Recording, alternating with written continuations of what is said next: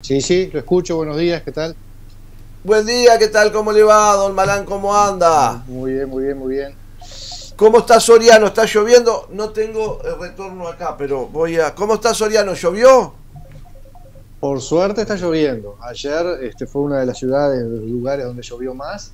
Y hoy, desde temprano nomás, está lloviendo, no, no ha parado. Así que, Qué lindo. Pronóstico, hasta el mediodía. Qué lindo, qué lindo. Acá también, sí, acá te llovió temprano también y este y está ahora está cayendo un agua mansa, pero había caído fuerte al principio, ¿no? Lo cual es un alivio porque bueno, este está mojando un poco la tierra, ¿no? Sí, sí, sin duda. Aquí en, estas tierras fértiles de Soriano, digamos, oh. este se hacía hacía mucha falta.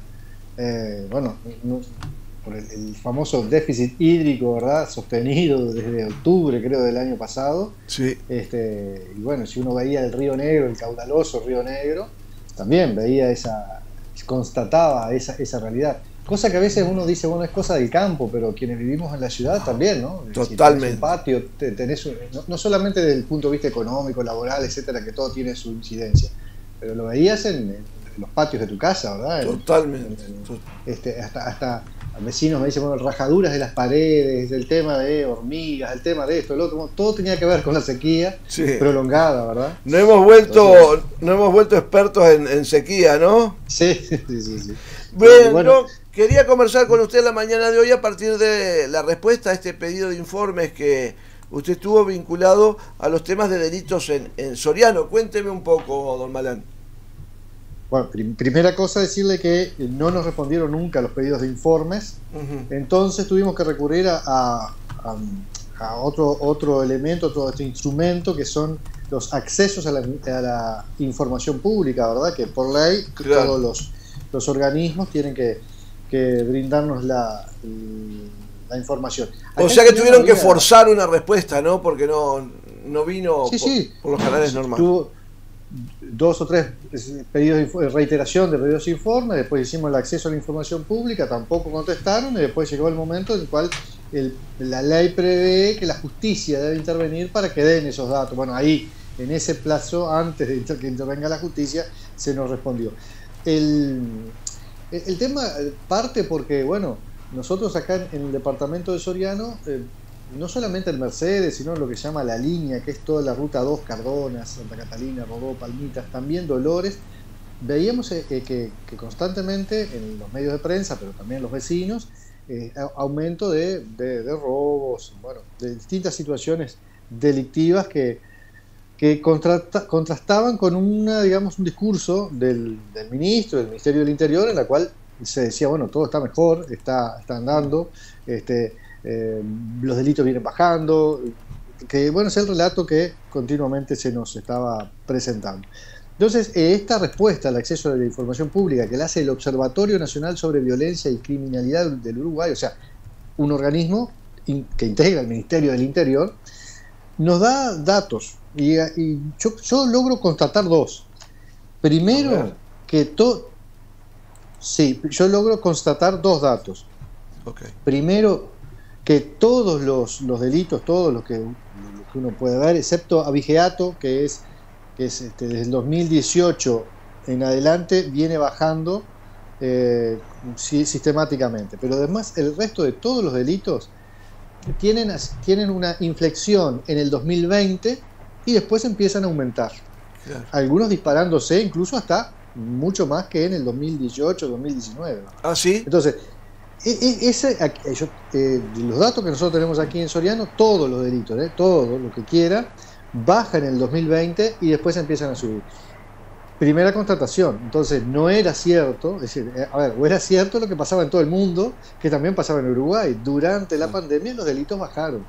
No era porque había un plan maravilloso, este, bueno, mucho mejor que lo que había antes y por lo tanto se estaban bajando los delitos. Bajaron los delitos ¿sí? pero bajó en todo el mundo y bajaron todos los delitos y en el 2020 en Soriano y después empiezan a aumentar. Entonces, en ese aumento de delitos hay dos delitos que son bastante importantes en Soriano que em, llaman la atención.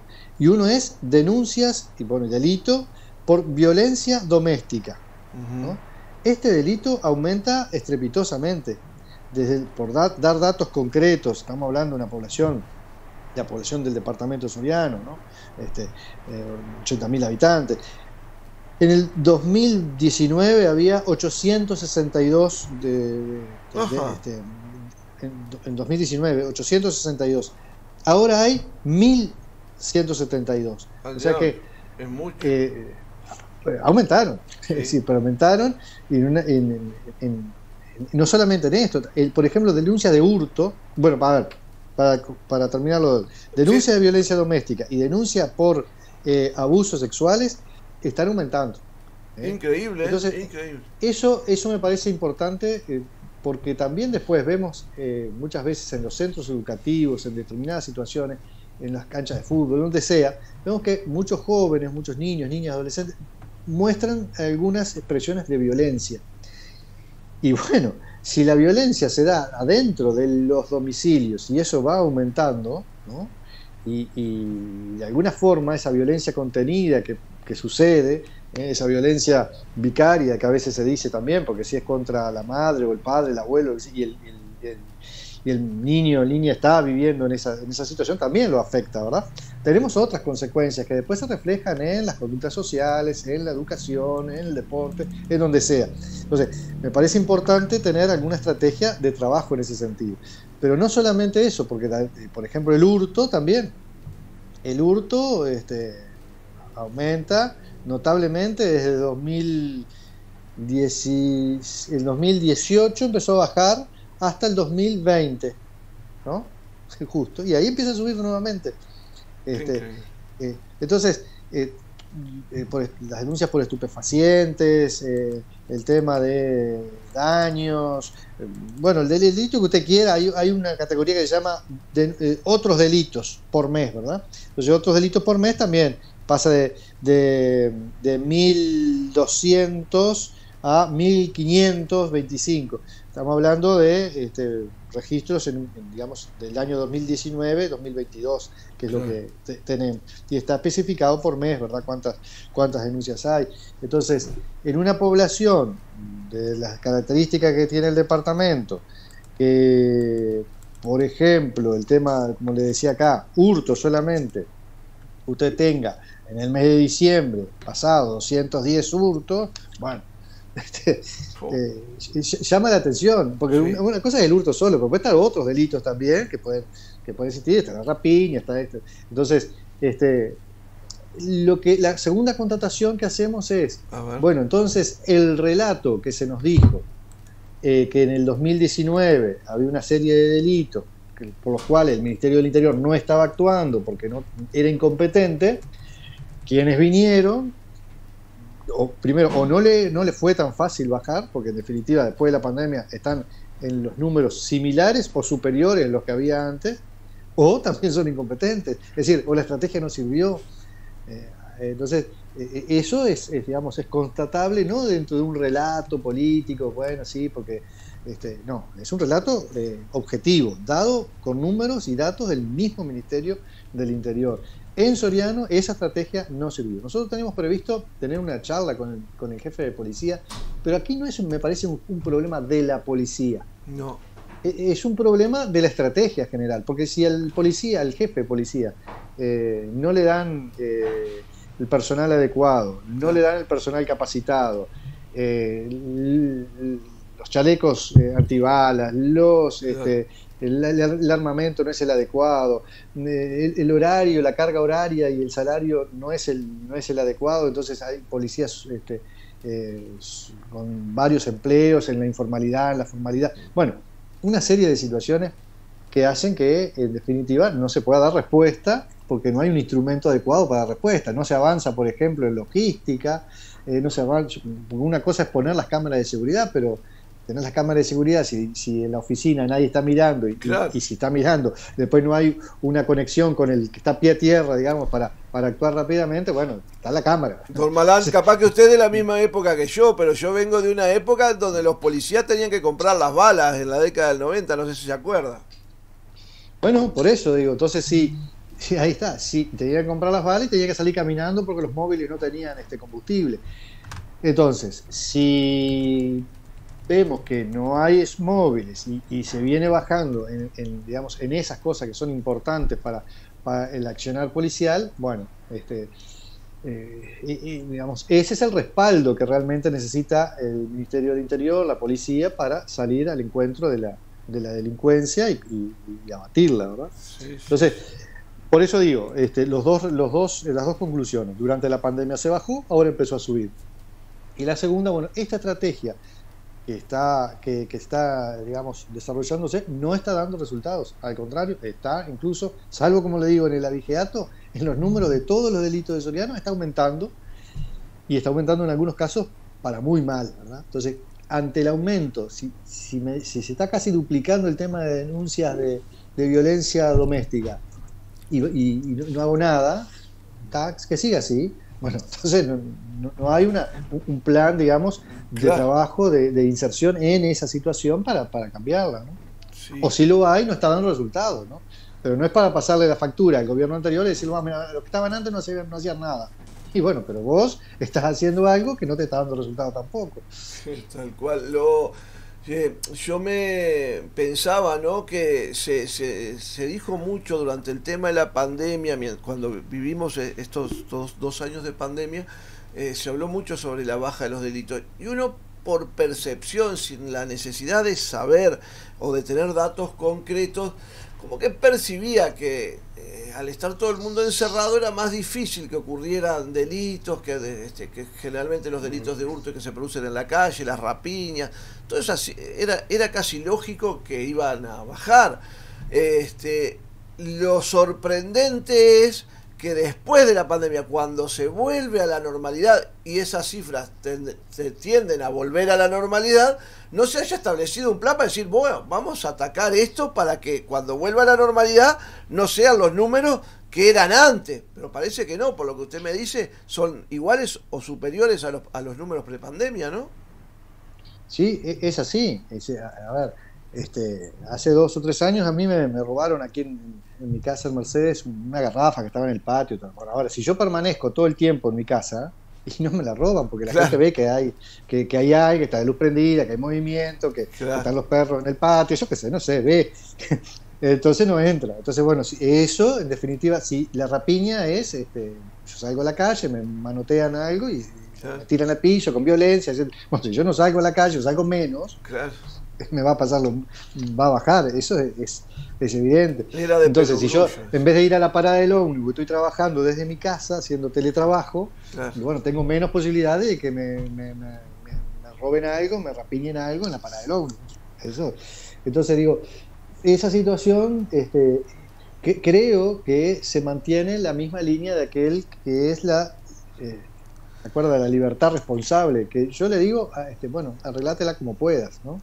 Entonces, este, la libertad responsable, bueno, sí, pasan estas cosas y, una vez que termina la pandemia, eh, no hay un plan post pandemia, pero no lo hay en esto, en la delincuencia, no lo hay en la educación. Hace unos días estaba eh, con una directora de un liceo y, me nos decía, eh, en, el, tiempo de la pandemia, los gurises estaban en, cada uno en su casa, ¿no? No teníamos contacto, solamente la plataforma, lo que podían. Después pasamos a que de los 30 alumnos de la clase iban 15 y 15 en otro, en otro horario. Después los amontonamos a los 30, después de dos años. Sí. Entonces, si vos eh, eh, al adolescente eh, pasás dos años donde no, estás no, no, formás un grupo de 30 y un día para el otro los metés todos juntos en un salón, va a haber problemas. Bueno, problemas va a haber. Y máxime si cuando estuvo en la casa tenemos los aumentos de la, de la violencia intrafamiliar y de intra, intrahogar. Sí. Eh, Porque Eso de alguna forma repercute. En, el, tema educativo, este, Don Malán se dio, se generaron eh, muchos problemas, como el hecho justamente de estar en un mismo salón de clase con otra gente, el hecho de compartir este, información mano a mano, eh, conversar, la, la, la, conversación hoy en las redes sociales es, es al grito, es al, al, insulto, y eso como que se después se trasladó y no hubo plan, no hubo plan de contingencia tampoco ahí en la educación, ¿no? Por eso digo, es decir, no hubo plan para salir de la pandemia. Es decir, no en, en, el delito, no solamente en el delito, sino en otras situaciones. este, uno puede ver, mm, estamos hablando del delito, estamos hablando de la educación, sin duda. Este, eh, ahí hay algo que, que, está muy vinculado todo eso, ¿no? Está que estamos, está muy vinculado, los, los, índices, por ejemplo, de suicidio adolescente son importantes, mm. la prevención es nula, porque es mentira, no existe. El otro día escuchaba al presidente de la NEP decir que se estaba haciendo, que había grupos mm, multidisciplinarios para para atender las distintas realidades regionales. Yo me tomé el trabajo con, con el equipo de preguntar en todos los liceos y UTU del departamento de Soriano, no existe eso. Entonces, eh, es un discurso que queda lindo, quien lo escucha por la televisión dice, ah, mirá, se está haciendo cosas, no se está haciendo nada de eso. Entonces, estamos preparando un informe incluso para, para hacer un, planteo en ese sentido. Digámosle a la audiencia que Enzo Malane es maestro, ¿no? Sí, sí, sí, yo hasta el 2014 fui maestro de Así que alguna cosa de educación conoce y por eso está, está habla de, las cosas que sabe, Dios. Por las dudas que, alguien le esté escuchando y que está hablando, no, no, el hombre es maestro y sabe, y por deformación, la profesional, la educación le, interesa siempre, ¿no? Sí, y en el primer periodo del pasado, en el, legislativo, integré la comisión de de Educación y Cultura. Este, este año, este periodo, digamos, la integro como delegado del sector, no como miembro titular, porque, bueno, por razones este, partidarias estoy trabajando, digamos, en otras comisiones que se necesita que, estuviera alguno de nosotros. Entonces, pero digo, siempre vinculado a esos, a esos temas educativos que me parece que son fundamentales para el desarrollo del país. Entonces, pero si lo ve en educación, bien en la educación. Ahora, si uno lo ve también en salud pública, es, impresionante. la propuesta post pandemia. Hasta ahora te están diciendo, ah, no se dan los turnos porque había mucho atraso. Bueno, entonces, capaz que para, para un médico. Este, ahora, si vos tenés el tema de la salud mental, si vos vas a una emergencia, como ha pasado, eh, con ataques de pánico y te dicen, fue en febrero esto, el caso que yo cuento, y recién en, en, en abril lo pudo ver un psiquiatra, y bueno, este, Después tenemos las consecuencias que tenemos. ¿no? ¿Cómo ve el, anuncio este de mayor aumento presupuestal para, para este presupuesto de, los temas de, salud mental? Ah, bueno, es fundamental. Ahora hay que ver, sin duda es fundamental, este, porque es una, una situación este, bastante compleja la que tenemos en, en, el Uruguay. Por todas estas situaciones que estamos diciendo, ¿no? por el tema, tema pandemia, lo agravó, pero eh, pero ¿qué, hace que los uruguayos este, no vivamos felices, deprimidos, este, que, tengamos altos niveles de violencia? Bueno, alguna situación está pasando y, hay, está bueno de que haya instrumentos para poder dialogar, poder procesar todo esto.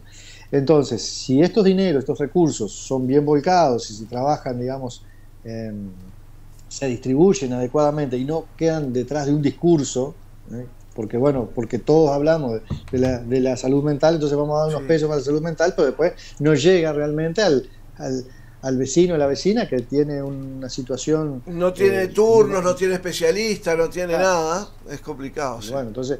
Entonces, este, vamos a ver cómo, cómo aterriza eso, ¿verdad? Porque también está el tema de las adicciones, que también eh, tiene que ver con toda esta situación, ¿no? Entonces, ¿qué, ¿qué, tenemos como Estado para responder a esa situación? ¿Eh? Entonces, no le vamos a, pedir al gobierno este que en una rendición de cuentas solucione todos los problemas. Pero bueno, el tema es que se vaya avanzando poco a poco, ¿no? Y el próximo gobierno esté anotando en su libretita de, de programa, bueno, estos son los temas clave y fundamentales para el país. Ahí, ahí justamente nos dice, este, oyentes de Maldonado nos dicen que en 2021 estuvieron grupos de psicólogos contra el suicidio adolescente en el Liceo 3 de Maldonado. Habrá que intensivar, eh, aprovechar y aumentar los recursos para que haya más charlas de ese tipo de repente, ¿no? Eh, el tema es no que caigan como un paracaidista, eh, porque hemos estado hablando con psicólogos también, con la Asociación de Psicólogos, de aquí de la zona y a veces te dicen, bueno, vamos a un liceo, damos una charla, los gurises quedan entusiasmadísimos, pero después no tenemos un seguimiento, porque ya no fuimos. Estamos en Tacuarembó el otro día, estamos en Dolores al otro, estamos... Entonces, el, tema es cómo eh, tenés este, propuestas de seguimiento mm, y de seguimiento personalizado después, este, pues tampoco es, eh, es, es bueno decir, bueno, tengo un psicólogo o dos, o equipos de psicólogos, para todo, por ejemplo, para todo el departamento de Soriano, para la NEP, o sea, escuela, liceo, SUTU, formación docente. ¿Y cuántos hay? Hay, dos. entonces no dan abasto. El otro día me decía, hay en un liceo, la, la, PAL de un liceo contrató un psicólogo para atender porque había distintas situaciones. Entonces, otro psicólogo nos decía, bueno, si esa persona atiende a toda la población del liceo, a fin de año termina certificada, porque este, es una serie de, situaciones problemáticas bastante importantes que la persona no da abasto y queda desbordada. Entonces, se necesita sin duda, me parece que, si estos recursos están bien orientados, no lo sé porque, porque todavía no hemos tenido acceso a, cómo y, Ah, y, al detalle, ¿verdad? En la, rendición de cuentas que llegará a fin del mes de junio del Parlamento. Entonces, este, pero me parece bien.